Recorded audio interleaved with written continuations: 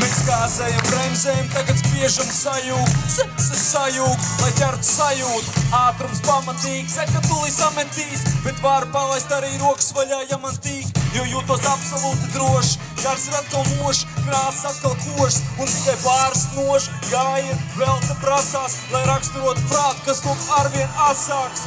Tic sev un tev arī tā kā astronauts, kaut priekšā nezinām krastu daudz, un jau mirkli nav redzams savu stiklu. Niek, mēs žigli varam ieslēgt viglnieks, bet tikpat labi varam arī iet kājām.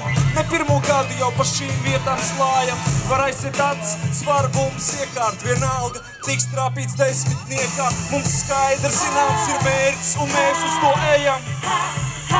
Mūsu soļi izšķeksta peļņas, kas gadās pa ceļam.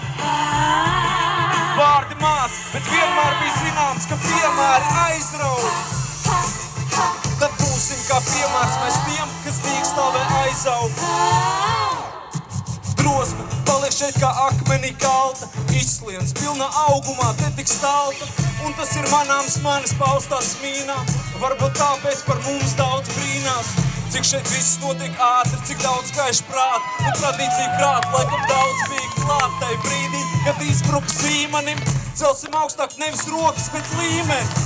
Lai no šiem vārdu pilieniem ir darbu jūra, lai tie ir kā pamats, lai kā armatūra. Tur mūs viss kopā un tur cieši, lai pārliecība vieš un mēs varam teikt bieži. Mums skaidrs zināms ir mērķis un mēs uz to ejam.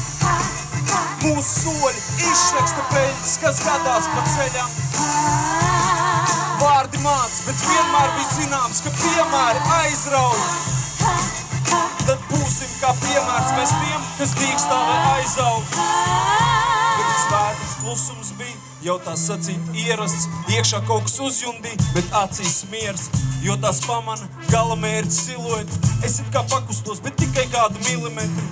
Mirkli stāvu, lai atcerētos katru katru sīkumu, kas saistīts ar šo skatu. Stāvu prieka pilns absolūtā mierā, jo šis skats man vēlreiz pierāda. Mums skaidrs zināms ir mērķis, un mēs uz to ejam.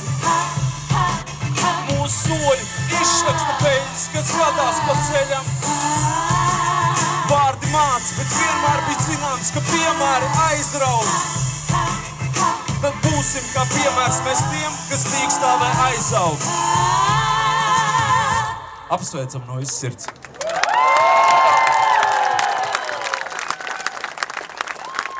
Paldies, paldies, Gustavs, par skaisto apsveikumu mūsu.